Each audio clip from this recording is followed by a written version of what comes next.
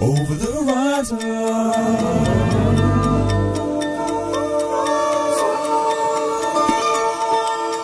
Over the horizon.